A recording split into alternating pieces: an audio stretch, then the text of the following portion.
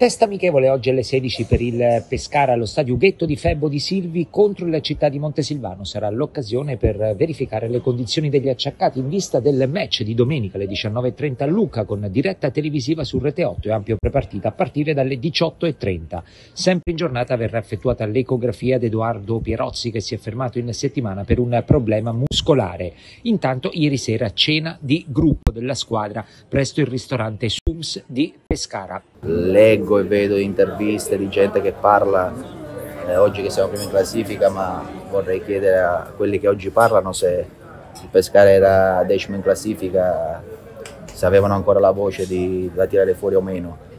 Eh, non bisogna pensare a nulla se non eh, al quotidiano, se non a una partita alla volta, perché questa è la nostra forza. Se tutti quanti noi pensiamo, ah, il Pescara primo in classifica, abbiamo vinto il campionato, è l'inizio della fine.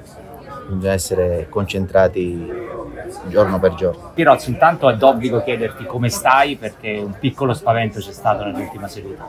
Sì, sì, purtroppo a volte dobbiamo ascoltare il nostro corpo in allenamento, dato che noi spingiamo sempre al massimo. Ieri quindi ho dovuto un attimo comunicare al mister e allo staff che non mi sentivo al meglio, ma spero diciamo, in qualche giorno, tra oggi e domani, di risolvere tutto. A disposizione per tutti?